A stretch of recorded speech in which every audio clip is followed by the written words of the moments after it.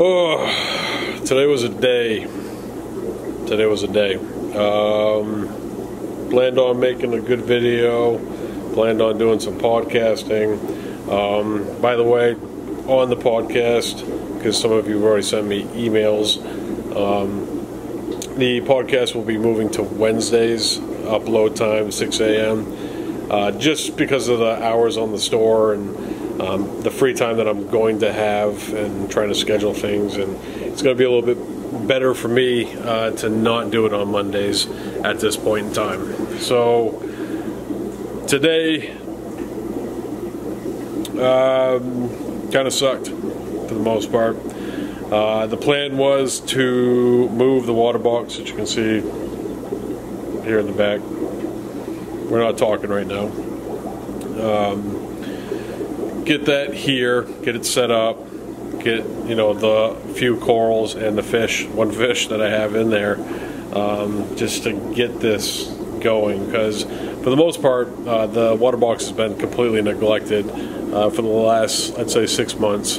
And with me, you know, looking for the, a place and um, then building the place and then not having everything at my house to uh, take care of it properly. It was just something that needed to happen. It needed to come to the store so I could take care of the aquarium. And um, it's got two corals in it. A lot of the stuff's been parted out over the last year or so, um, and one fish. And some hermit crabs. That's about it. Um, tons of equipment, tons of equipment, but you know, moving an aquarium isn't easy. It's not an easy thing to do. It's wet. It's gross. It's um, it's a commitment. And I was I was planning on yesterday closing up the shop on Sunday and then running home at five and letting the dogs out and then going to um, load everything up in the truck and get back here and set it up and then have a day to settle in and then look okay come Tuesday morning. And I got home and I ate and I let the dogs out and I'm like, uh, there's no way. Glad I didn't do that because I'd. because today sucked. Maybe yesterday would have been better. Who knows? But today sucked. So today I got up this morning. I went to Lowe's, uh, grabbed a couple totes, grabbed a couple buckets and some lids, and definitely didn't grab enough buckets. I think I'd have been better off if I had grabbed five buckets instead of two. And the two totes was enough. Basically, what I did is I used one tote for equipment and the other one for live rock. I took all the live rock out, took a towel, soaked it in the tank, and then threw it into the tote loaded everything up. And man, that water box right there, that's like a 40 gallon, maybe 50 gallon display. It is heavy, dude. It is heavy. I moved, and I'm not a like a Sally. I mean, the arms. We've talked about this. The arms are like the smallest that they've been in my adult life currently. I'm gonna fix that. Don't worry. Um, but I've always had the ability to kind of go to this place to get things done, move things that probably should not be moved by one person. I've always been able to have that ability to just kind of go there. I've moved the 220 gallon by myself recently. I did that like last summer. I don't know, maybe 40 is going to be pretty rough on me. I don't know. We got like I got like 10 days. Good sign of things to come. But anyways, I get in the truck. It wasn't done well, and um, I had the dollies that I used for the 220 gallon out on the porch sill, um, and I get to the door, and the way that I'm holding the aquarium is I'm not going to be able to go through the door with it like on my hip. I'm got it under my arm, and I start making adjustments, and then the tank's like slowly sinking, and I'm like, this isn't good. And then I get it down to the ground. I pick up a side, I put the rollers on it, I go to the other side, get rollers on the that, get it out onto the porch. I got the truck backed all the way up to the porch, and then I'm able to muscle it in. Get the stand in there, get the sump in there, all the equipment. It's time to go. Time to go. Drive here, no problems. Walk in the door. There's water on the floor. I have something's leaking. I'm like, awesome. So I got a truck full of aquarium, and it's like 80 degrees outside, um, in the back of my truck, cooking, and I got you know fish in the truck, corals in the truck, whole deal. Walk in the store, water on the floor. I'm like, what in the world? So, actually, I'll show you guys. Ugh, it's hard to get up right now. 40, man. 40's not going to be good to me. Some of you are like, 40? What do you mean, 60? Like, hey, just because this is white or turning white. Alright, so low lighting. Stuff starting to shut down. But anyways, I had, it's right there, that PVC pipe in here. These socks are like super short. I don't even know if you guys can hear me.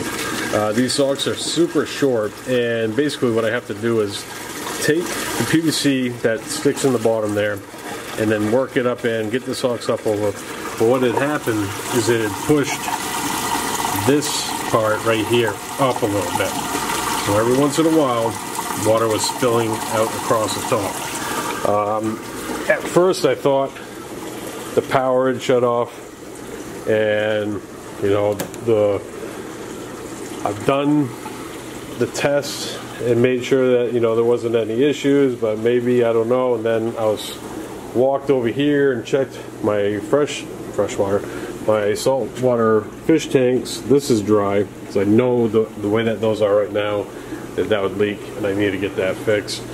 But figured that out and the pipe was actually causing the leak and um, we were able to mop it up. This is all wet because I did a water change in here. So that was pretty much a sign of things to come. I get the water box in here. And again you know I got to walk the length of the building up here with the tank. I do have that cart which made life a little bit easier but um, basically I acted like a second person because I didn't want to set the tank on completely because I still had the bulkheads. Um, in, on the bottom installed and was trying not to crush them and also crack the glass because they're there and it's pushing up, whatever. Get the tank in place. I figure that this is the best place for the tank. As I'm bringing in the stand, I noticed that I had ripped off a couple of the screw-in peg feet on the bottom. And I was like, well, that's great. And then I touch it and it's wiggling and I'm like, that ain't gonna work. So I take them all off and it's just basically sitting on the, the ground now. The stand probably could be replaced and you have the ability to go to Waterbox and buy a new stand, which I probably will do and probably go black because it makes more sense with the scheme of the store. Um, if I don't just yard the whole tank at this point. But so I'm setting stuff up. I put the water in, get it up. I get the some of the live rock on there. Uh, I decided that uh, some of the rock that I had in there, a lot of the branch, um, I'm going to cook it for a little while. And basically, what cooking live rock is is uh, taking it, putting it in a brute barrel. Where is it? No, it's not there.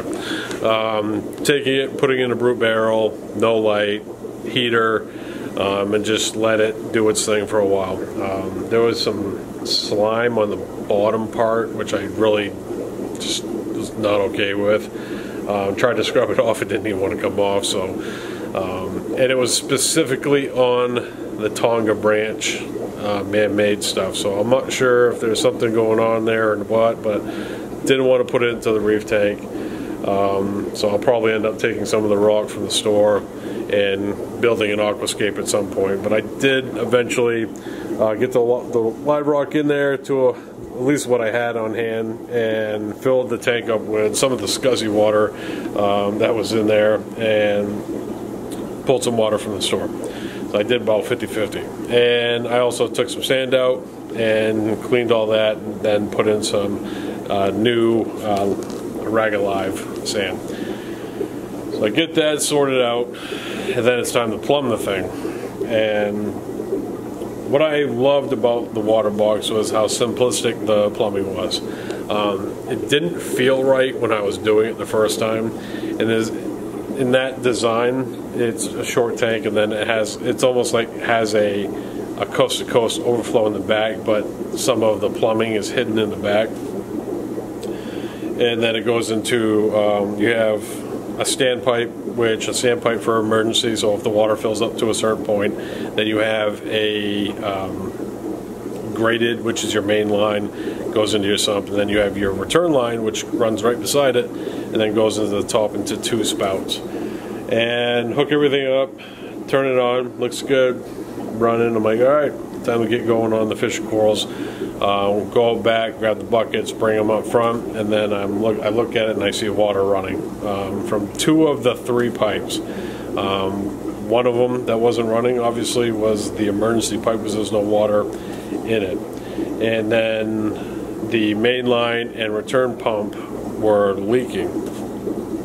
So I take them apart, look at them, they look fine, put them back together, really tighten it down this time, and turn it on, leaking again. So needless to say, I'm, I'm going to make this as painless as possible for you guys because I'm sure you don't want to sit here and listen to somebody complain about something, but um, I went back and forth. I probably spent maybe four hours trying to figure this out. Couldn't do it. At the very end, when I finally had enough, I'm like, I'm going to rip it out. I'm going to plumb it myself. Well, the water box doesn't have standard or U.S. standard uh, holes.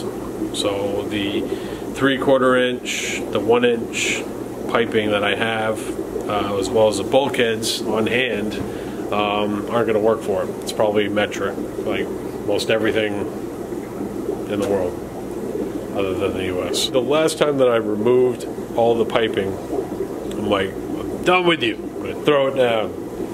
And I think I even threw a piece in the trash can. So I figured out that the bulkheads aren't going to work, and I have to go digging through the trash to get my piping that I now have to clean and make sure that it's perfect. And I went in and cleaned all the glass, and then I installed it. And this time, you know, because a lot of it's threaded, like I'm gonna silicone it.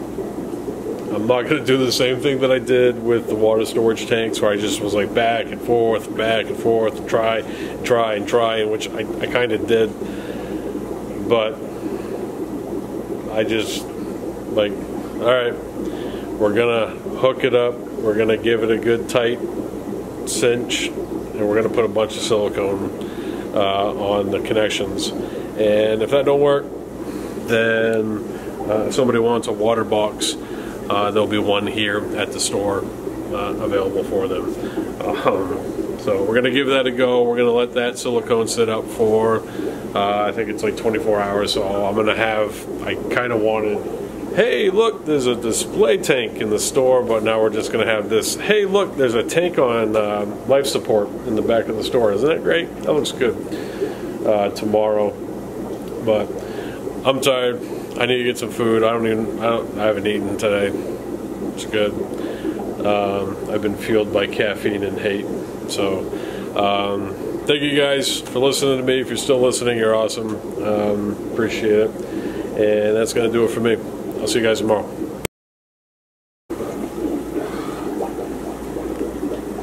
Oh, I'm pumped. They're all out. They all look healthy. These guys uh, just had ick. They're all out doing their thing. I threw a little bit of food in there. Starting to hide, but well, that makes me happy. Ugh.